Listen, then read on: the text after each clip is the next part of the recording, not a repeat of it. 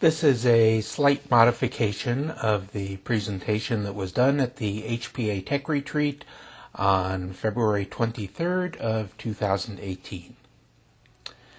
So, it talks a very brief history of voice synthesis. Now, the image that I have on here, the Vox Humana, is an organ stop or a uh, certain configuration of organ pipes. What does vox humana mean? It's simply Latin for human voice.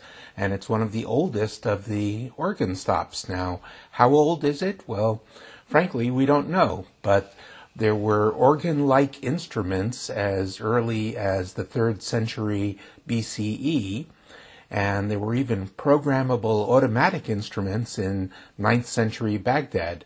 You can see a reconstruction of an automated reed instrument, and a reed instrument tends to sound something like human voice. And over on the right are is an image of the ruins of a uh, keyboard instrument from first century BCE in Greece. Now, it might be even earlier that um, there was voice synthesis if you consider what animals did in trying to mimic other animals. The hill mynah bird is considered one of the absolute best, and I used to spend hours in front of a mynah bird uh, trying to get it to say various things, and it often would. Alexander Graham Bell, uh, well known for his work on the telephone, before he worked on the telephone, um, in theory, got his dog to say, How are you, Grandmama? Uh, what he really got the dog to do was to growl, and then he would manipulate the dog's mouth to make it sound something like, How are you, Grandmama? Now, more recently, you may have seen this story about how a killer whale uh, can say certain things like hello. Well, you're about to hear it, and what sounds like uh, perhaps a bird's voice, or uh, you might think it's a dolphin. That's actually the trainer saying hello. And what follows the hello in each case is the whale. I'll let it cycle a couple of times. Hello. Hello.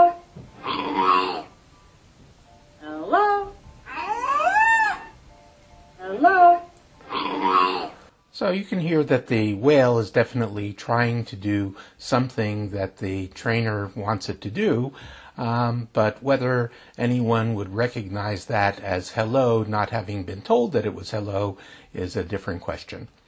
Um, now, getting back to mechanical devices, Pope Sylvester II uh, was Pope starting at the end of the 10th century was said to have a brazen head. Brazen just means it was bronze that could answer questions, yes or no. Not so unreasonable. Uh, could certainly have made some sort of a, a noise, um, whether a C or non uh, for uh, yes or no. It, it's certainly possible to have been done. In the 18th and 19th centuries, there were much more developed devices. This is a diagram of Charles Wheatstone's version in the 19th century of Wolfgang von Kempelen's uh, talking machine in the late 18th century. And here's a uh, more elaborate system that was created by uh, Joseph Faber, the Euphonia. On the left, you can see it without the uh, woman's dress. On the right, um, there's a mannequin and dress. But in both images, off to the left side are the keys that controlled it. And it was said to be able to converse in multiple languages, um, but always supposedly had a German accent. Now, when electronics got involved, it was initially not for synthesis. Homer Dudley was trying to come up with a way of transmitting speech over long distances with minimum bandwidth. You may consider it the um, MP3 of uh, the 1930s, if you will. Um, so he divided the speech into different spectral bands and had switches for reconstructing it. Um, and then there were two World's Fairs coming up, one in New York and one in San Francisco. And so it seemed possible to take the same device and instead of having the input come from a microphone, just have the input come from uh, keys that could be depressed on a pitch pedal. And so the vocoder or voice coder, which was this transmission system, became the Voder or voice demonstrator. And uh, this is what the uh, apparatus looked like at the New York World's Fair in 1939. There's one of the operators. There were two sets of five keys and a wrist bar and also the uh, pitch pedal. Now, here's a big spoiler alert for those of you who have not yet seen the movie 2001 A Space Odyssey, came out in 1968. Um, the story is uh, about a um, journey into deep space, and it's uh, going to take a long time, so much of the crew is in suspended animation. And uh, there is an artificial intelligence, the HAL 9000. Uh, HAL is one letter short of IBM in each letter position. Um, and something goes wrong with it and it kills the crew and there's only one person left and so that person decides it has he has to uh, disable the higher reasoning centers of the HAL 9000 um, so that um, he will have a safe trip. And in the course of uh, knocking out the higher reasoning centers, the artificial intelligence reverts to an earlier time. And um, it talks about its training session and how it learned to sing a song. So here's that section. instructor was Mr. Langley, and he taught me to sing a song. If you'd like to hear it, I can sing it for you. Yes. I'd like to hear it, Hal. Sing it for me.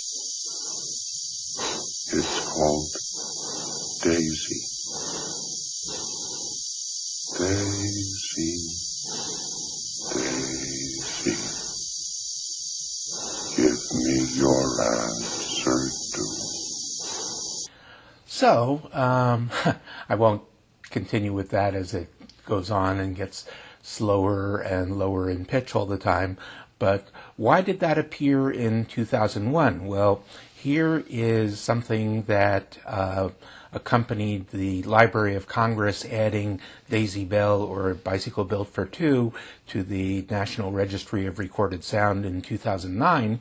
And they are crediting not the person who wrote the song, uh, Harry Dacre, but Max Mathews, John Kelly, and Carol Lochbaum, um, who did a performance in well, sort of did a performance in 1961. And at the right side of this, you can see a poster for 2001 uh, Space Odyssey. Um, now, why is that there? Well, it's because Max Mathews programmed a computer to play the tune of Daisy, and John Kelly and Carol Lochbaum uh, worked on programming the voice singing Daisy and both the writer of 2001 A Space Odyssey, Arthur C. Clarke, and the director of the movie, Stanley Kubrick, went to Bell Labs and heard the song Daisy uh, as it was performed by an IBM 704 computer.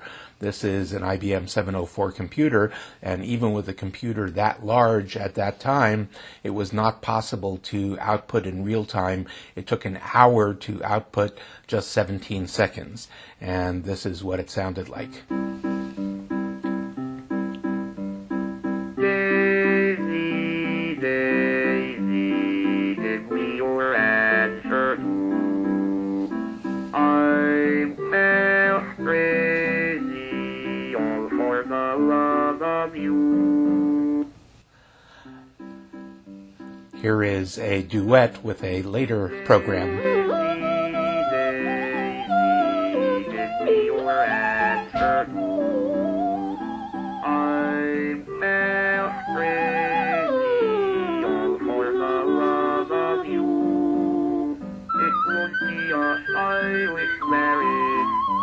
all for the carry. But you the of a bicycle built for So I think we can all agree that the um, programming got better between 1961 and 1990. It also uh, became real time. But why this concentration on singing? Well, here is an opera that was performed in 1975 at Carnegie Recital Hall in New York, and the composer is uh, down there at the bottom, Joseph Olive, who also worked at Bell Labs. The opera was called Mariaa, and it's an opera about a um, female scientist who invents a talking computer and the computer is in love with her as its creator, and she's in love with it as um, it her um, development, and then she decides that this is not a great love, which is sort of the plot of the opera. Um, the female scientist was played by a soprano. The talking computer was played by a singing computer. Again, with all this singing. And uh, here's the Voder singing in 1939.